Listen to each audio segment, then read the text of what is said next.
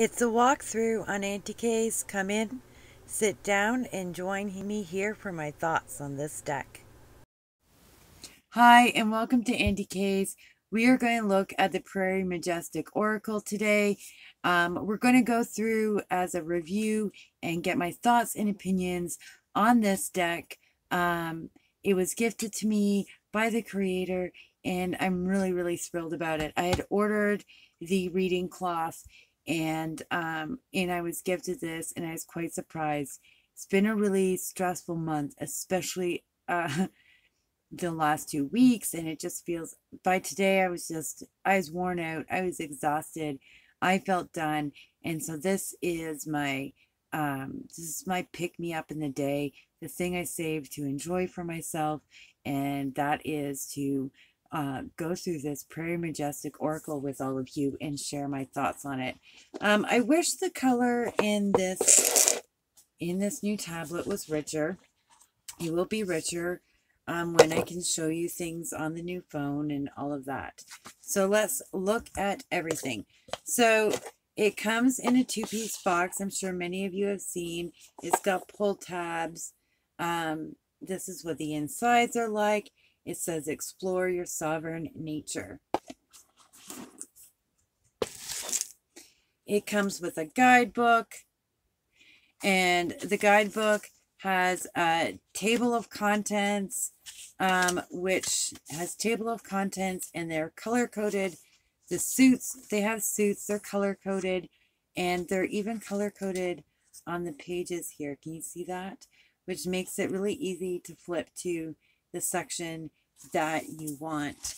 Um, and each um, each being is listed at the beginning of the suit and they're done they're put in alphabetical order of the being which makes it really easy. It tells you what that suit is about. So this one the blue feel cards teach honoring your emotions without judgment while ushering in more desirable states Maybe we'll look at each of the beginnings of the suits as we get to them as we go through the cards. Um, and so you have two pages per card. Sometimes the end wraps up with um, with um, suggesting other cards that you could pull forward to um, help uh, bring out this energy, support this energy. Um, and there's usually a part of it that's in bold, a sort of highlighted part to stand out in each page if you're looking to pull something quickly like that. Pink, shiny edges. It's an oracle deck. They're oracle card sized. They feel beautiful. These are the gorgeous backs. All right, and let's uh, let's go through this and take a look.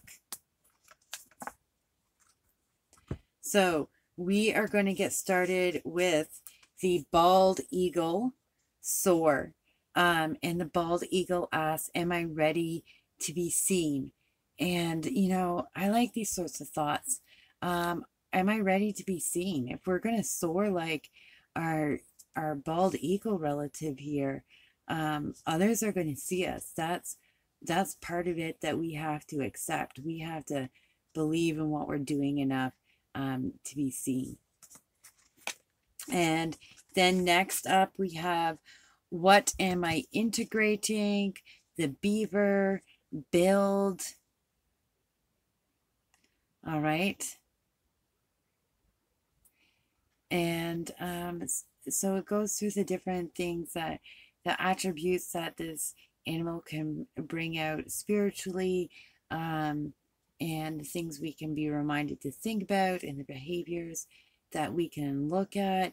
And you know, the beaver, humans think of the build as the beaver as messing up the environment, but they're not. They're um, they're building in a very conscious awareness of how the they can help the environment benefit um, themselves and, and others. There's a renewal process that comes through with the beaver and um, as humans, we just don't like it because it's inconvenient and it's change. But, you know, it's so necessary. And so I like that these ideas come through in the cards. We have what energizes me, play, and this is coming at us from the coyote. And, um, you know, the book asks us if um, we have apprehension at the level of freedom that coyote has, right? Um, in new decision making, responsibility, playfulness, and I love that responsibility is thrown in here. Um, I come at things from a politically indigenous perspective, which is a political cultural uh, viewpoint, and responsibility um, is so, so important and integral to freedom and autonomy in that. And I like how the responsibility comes into this card. Next, we have what is next in my becoming, dragonfly, turn, and we can think about how the dragonflies become. They are these, you know, larvae um, in the water, and then they like turn into dragonflies and take off into the air and towards the sun. We have, was I turning those over? I was. We have what am I opening to and the eastern tiger tiger swallowtail emerge and of course when we think of butterflies we think of how they emerge i love this type of art that combines drawing and photography collage together i did different takes on it um, in the oracles of colonization i've been playing around with different takes on it since i got this tablet and so I really, really enjoy this. Then we have um, what am I ready to leap? Where am I ready to leap forward? Grasshopper jump. And um, one of the things we're reminded about in the or in the guidebook for this oracle card is how grasshoppers, you know, bring about mass change when they do things in swarms and they often, you know, there's swarms of them and they move. And um, so when we ask, where am I ready to leap forward? Maybe we're not leaping forward alone, but, um, you know, in a swarm. And what kind of change can we bring when we leap forward in a swarm? Am I carrying myself with love? The killdeer and strut. And of course, we know how the killdeer struts. And uh, it does take uh, an amount of self love to be able to strut, right? There's um, there's there's a desire there's a need for self love and and they strut of course to impress others but they have to have that confidence first what do i want to carve out um oh i was going to tell you about each section so this is the yellow section.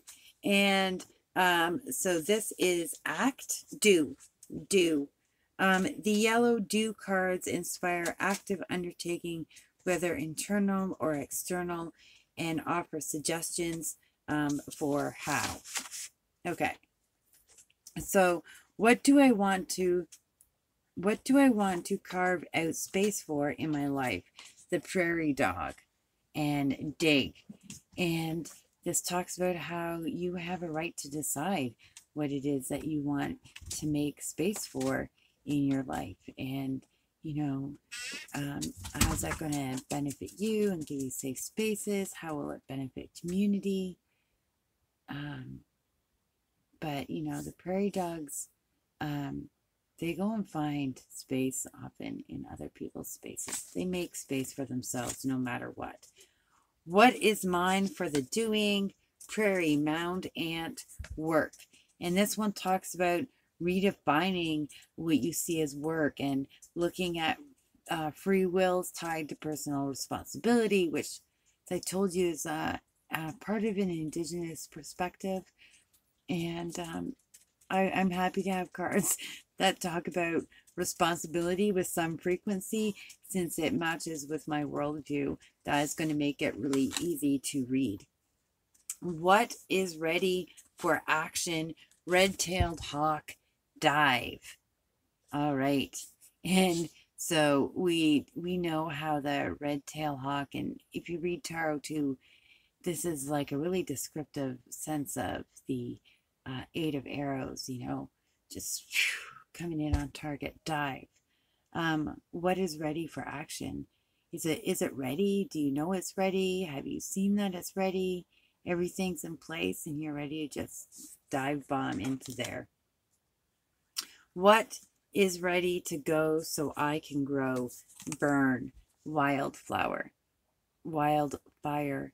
And of course, we know how wildfire um, in a maintained and looked after space brings renewal and rebirth and it pulls all those nutrients, you know, back down into the soil so that uh, everything else can grow. It lets the sunlight in.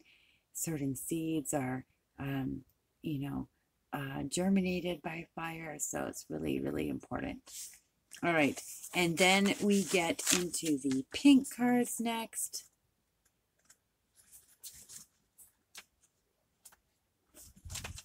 And the pink cards are no. The pink cards assist with translating intuition into thought form to harness the power of your conscious mind. No. So in these cards, we're going to know about knowing and intuition, and it's going to be a bit of a reoccurring message through different viewpoints of it. Uh, 12 minutes, 400. And we start off with the bison. B. How can how can I know myself as absolute? And the bison definitely is very, very absolute, right? And um, we need them to be because they're they're an integral part of life.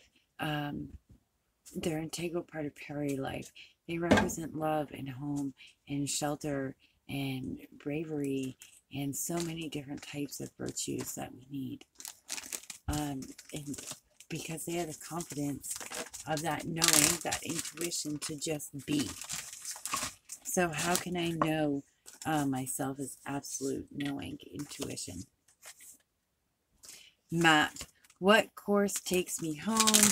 And of course, we have the compass plant, and its uh, leaves tell you what direction you are facing, and its little head will bop right up. And this card talks about values, belief, and comfort and joy. And, you know, you can think of those as on the four cardinal points of the compass and help it guide you. then we have notice. What can I learn from observation? And we have the crow.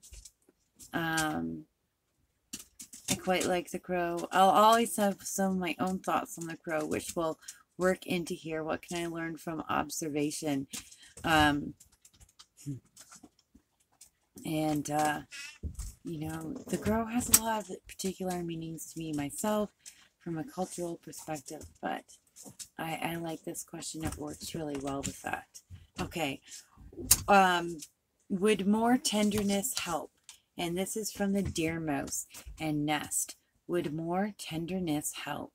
So, you know, your inner dialogue, um, that knowing again, it goes to your inner dialogue. Do you trust yourself? Where is your inner dialogue? Da, da, da, da, da. Do you need to be more tender with yourself and, and listen to different parts of your inner dialogue so that, um, you know, you can learn something from it? Is your inner dialogue being too critical? Where do I need to be more tender? And um, in the sense of um, telling that inner dialogue that they're off and they're not going in the right direction. They're being too critical. Do I need to treat myself nicer the way I treat others and have that patience with them that I have with myself? What does standing still reveal? Great blue heron. Reflect. Reflect. What does standing still reveal? What will we notice if we stay still? You know, and, and really pay attention and see what is reflected back to us. You know, see what comes our way that we might see in these reflections. what can I listen for? Great horned owl here. Yeah, that's a good one. You know, uh, we always think about owls' eyesights, but um, their hearing is a huge part of their location. So much of them is about how to tune into something, right? Including here. And we can relate that to knowing quite easily. What would help me feel safe in opening up? The mallard dabble. And of course, the mallard uh, filters out what isn't going to be safe for itself. So some of what we need to do is trust that we have the correct filters in, space in place. What if everything is already working out? Charm. What if we're worrying for no particular reason? Because we already have a good luck charm and things are already going our way. Um, are we in tune with ourselves enough to know that, you know, we can silence those inner critics and those inner worries because things things are already working out? Uh, how does the situation look and feel from a different view? Flip. Can we flip over to another view like the stink bug? Oh, I like that. Again, I like this art the stink bug over those grasses and flowers. All right. What external knowing can I access in human form? 13 lined ground squirrel. I like this one. And it talks about how, you know, the 13 line ground squirrel hibernates and how we can think of that as um, um, symbolic kind of death. Yeah, about a symbolic kind of death. And um, and going into that rest so we can come out into a time of higher consciousness and a space of it and connect with it we can remember those ancestral meanings and retrieve those ancestral um, answers if we can go into um, a symbolic like death and rebirth. And then we have trust the white-tailed deer. Am I honoring my knowing? Oh, I really like this. I really did. Um, this is I, I will think of this question Am I honoring my knowing on a really personal and different level anytime I personally pull this card? Um, because, you know, for me, am I honoring my knowing when I'm looking at trust in the white tailed deer? I'd be literally asking myself, Am I honoring my own knowing, my own medicine? Am I trusting in it? Am I having faith in it? And, um, you know, also I can see so much in this for others too, but I really like that. And then we get into the blues, and at the beginning of the blue section, blue is feel, and the blue feel cards teach honoring your emotions without judgment while ushering in more desirable states. And we've got glitter, cottonwood, what gift awaits me?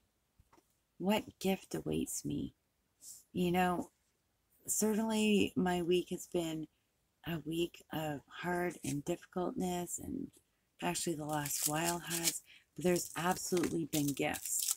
And it's really easy to just concentrate on all the difficult, but it's really, really important to see the gifts in those difficult times, especially when those gifts in our lives, sometimes not even metaphorical gifts, but real physical gifts, um, come in during really hard times. Like that spirit making sure it comes in when we need it.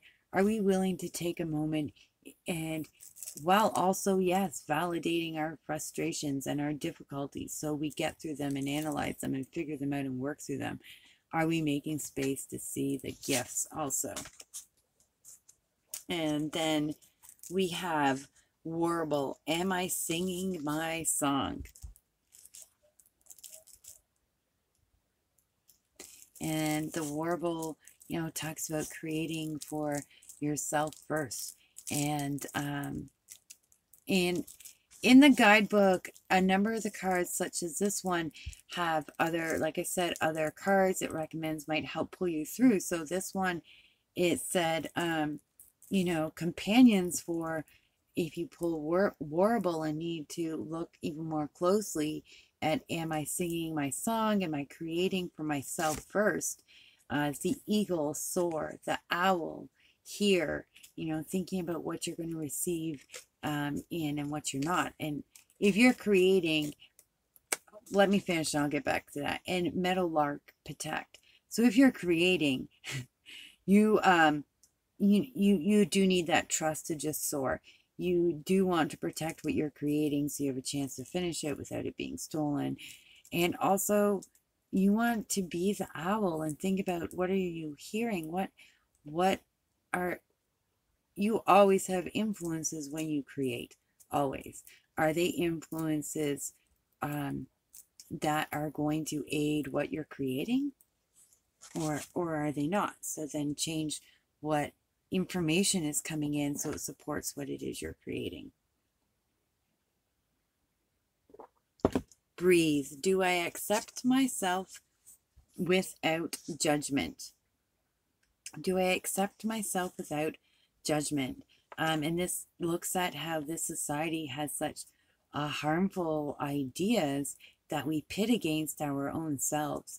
And so this card gets to it as we talk about the blue feel cards um, and that emotional stability and care. Um, so, you know, are, are we, um, do I accept myself without judgment from that society? I'm turning the page of my notes. Okay. So next we have nurture, the role, um, what role is mothering energy playing in my life, Eastern Cotton, Eastern Cottontail Nurture. All right. And, you know, we all have those sorts of mothering energies in different areas.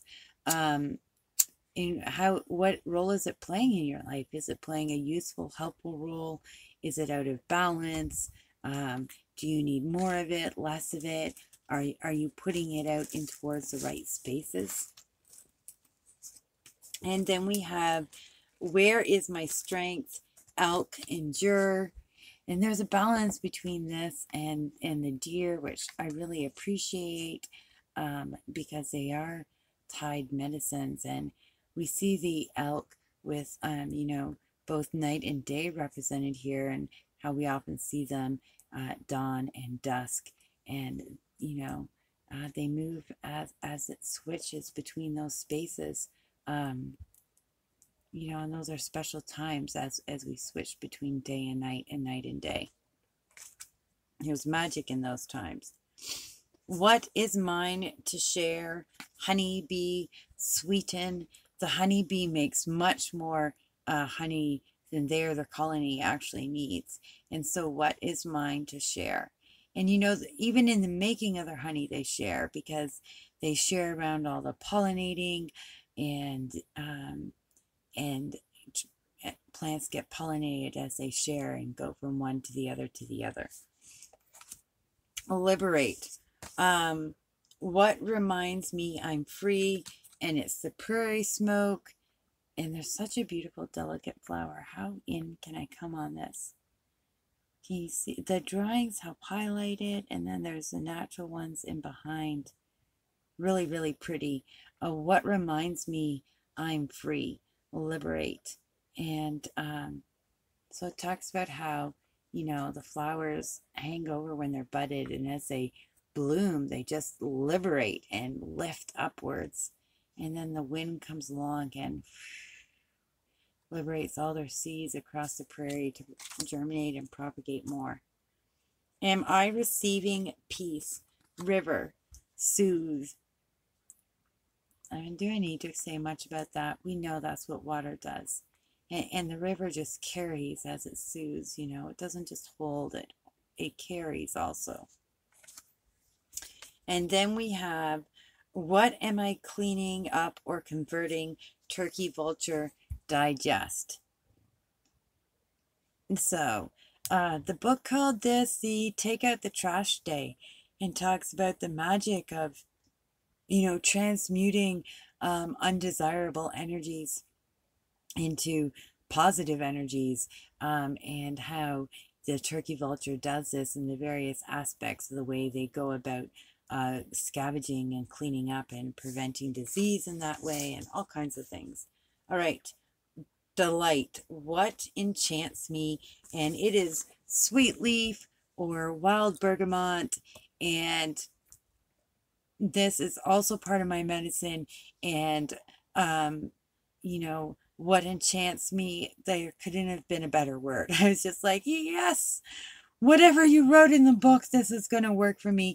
But it went along wonderfully. It talks about does pleasure feel forbidden um, or unproductive? And it talks about um, how wonderfully sweet wild bergamot or sweet leaf um, can help in these things. And they can help in so many ways in things related to delight, the delight and desire. How can I deepen trust that my intuition knows the way? Wind, blow. And we have the cone flower here, you know, just uh, their um, their petals back, their faces pointed forward, and the wind just blows. The grasses, you know, they're just bending as the wind blows. How can I deepen trust that my intuition knows the way? Can we trust ourselves that our, our intuition is going to know what to do when the wind comes and blows and we'll just go in the right direction and we'll be able to do what's needed of us? And so that's why these are in the feel cards because yes, we have intuition but do we trust in ourselves? Do we love ourselves enough? Do we believe ourselves enough to use it? And then we get into the greens. So we will look at the beginning of the green section, um, which is claim. Um, the green claim cards inspire taking back your power by activating and wielding self authority. And it starts off with Am I fully claiming my authority? Badger, defend. And that badger, like they defend, they know that they can and they will um, defend themselves. They can stand their grounds. And um, that that is definitely a claiming of self belief. And it's also a claiming of um, what you need, what you deserve, what what depends on your survival. I am going to claim it. I am going to make sure I have it. And in this world, that comes with so much defense. How can I be of service? Big blue stem shelter. And this makes so much sense because that big blue stem is of huge service to the prairie. It's it's it's uh, it holds the soil together, it holds so many other plants together with its ginormous roots um, that are taller than than it is above the ground. Um, and as such, it provides stable um, by stabilizing itself with its extensive root system. It stabilizes all the other grasses with its essential with its essential root system and is able to provide through this dependable shelter for others by looking after themselves first. Is it time to reclaim and reinvent the structures in my life? Black footed ferret, take over. like that. You can be grateful for what came before and reject what doesn't work for you. Um, was one of the quotes in the book, and I so like that for takeover you know this this is great for people working on taking over things um was it time to reclaim and re is it time to reclaim and reinvent the structures in my life and you know uh, this adds to a look at the tower card where we have to you know reinvent the structures in our life which involves reclaiming what we're going to be responsible for and in that takeover we can think about what we've learned from the past and learn from that what did work and what didn't work and what needs to be changed and thrown out and brought in. Where do I give and receive For match, we have the butterfly milkweed, and we have both the monarch and the butterfly milkweed. I have some milkweed behind me. Um, it, they're a perfect symbiotic pair. They're a perfect symbiotic pair, these two. And um, they benefit each other's lives completely. And so that was quite brilliant for match. How am I the light in darkness? The Luna moth for radiate. And we talk about radiate the knowing uh, within you. This made a lot of sense to me. Moss, you know, they bring messages from the ancestors. So radiating that knowing within you is a really good message from the lunar moth. How am I the light in the darkness? And when you believe in it, you you just aren't afraid and you can be a light. How can I safeguard what is sacred to me? Meadowlark protect. The meadowlark safeguards what is sacred to them, their nest, where their, their chicks and their babes are. They don't do so by just standing guard at that nest nonstop, afraid to go out and collect food or look after its home and its territory. They set up ways that they can protect their whole general territory and in so live within their full home area while also protecting their nest and their children without just being afraid and stuck in one space. We have in my is my pursuit both honorable and focused mountain lion stalk.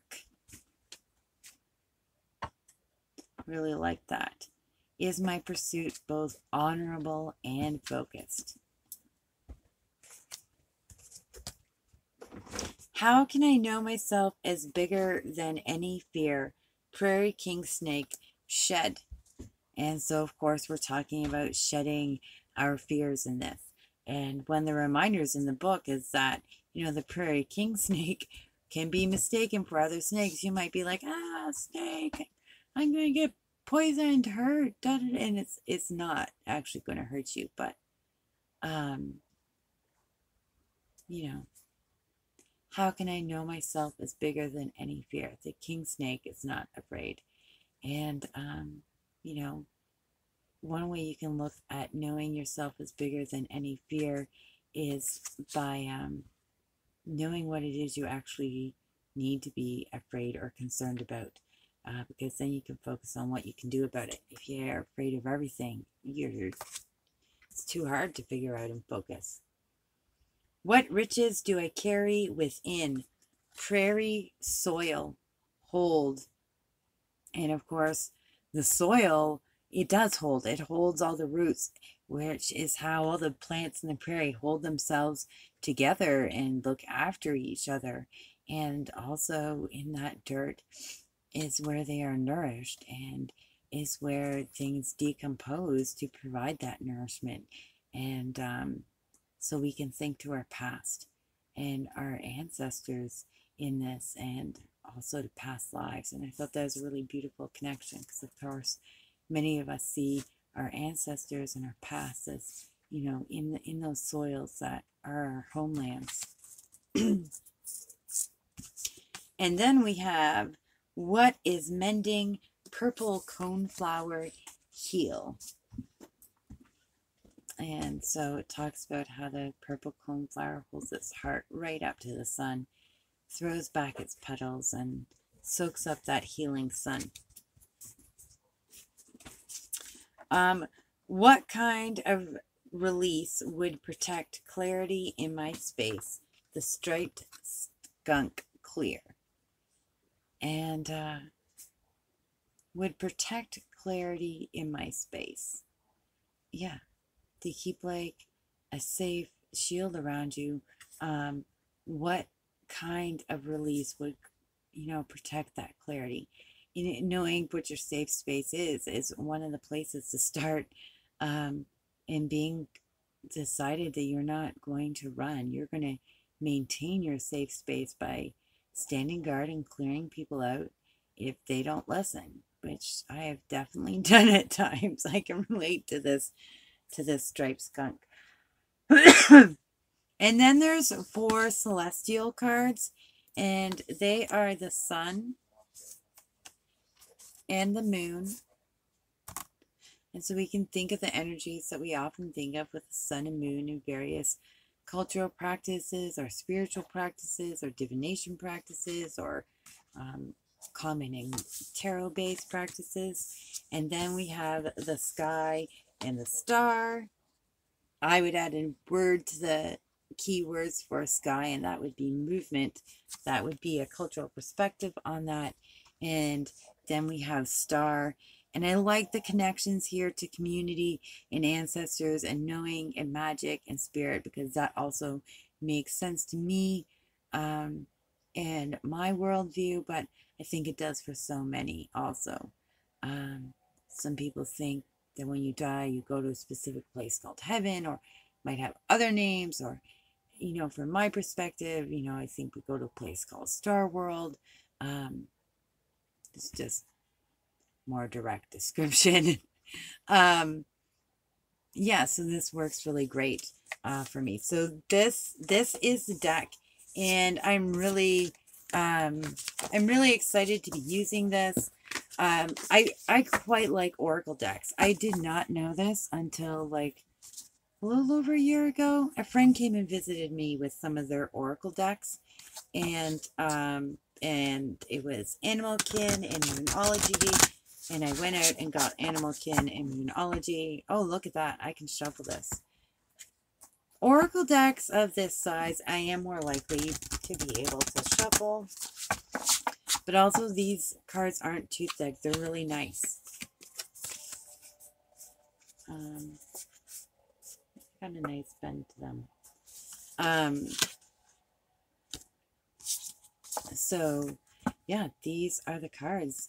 Um, so I really fell in love with Oracle decks. And, um, and so I'm really excited about this the way I use Oracle decks, I realized more Oracle than Tarot decks would actually serve my purpose the way I use them, both on their own and with Tarot. Um, their range um, gives me a range of places to pull directions into a tarot reading or complementing one. Um, so I do foresee myself and currently have more Oracle decks and tarot decks. Um, and yet also, as I was putting this into my spreadsheet, um, I was like, oh man, like just because I have an idea of how many Oracle decks and how many tarot decks I feel myself getting up to, that doesn't mean I need them all right now. Um, and so I think I need to take a look at my wish list, pre order, Kickstarter list, which I already know is bigger than it should be right now, and um, look at what I already have pre-ordered or Kickstarter that's going to be coming in between now and the fall, and um, maybe pause so that I can get to know these before the decks due in the fall start coming in. Um, and that's kind of hard because there's decks coming out that I'm really interested in and really into. Um,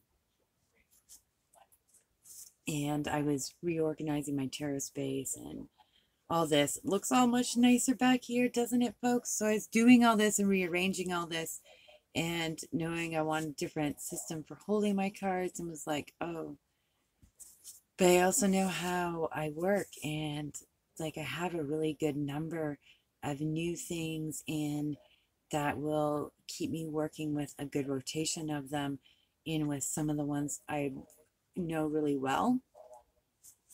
Um, maybe I need to hit pause in hope that the decks I'm really looking forward to are available later on. Um, because by the time I've worked with these newer decks for a little bit, I'm going to have a batch coming in in the fall. And so, yeah, yeah, so I'm very excited about this. Where am I going to fit this deck in? I don't necessarily pair things up visually so much as I do understanding wise. And this might be a sort of deck um, I keep in a space where I can grab it when I it's got a huge range of places to be coming from.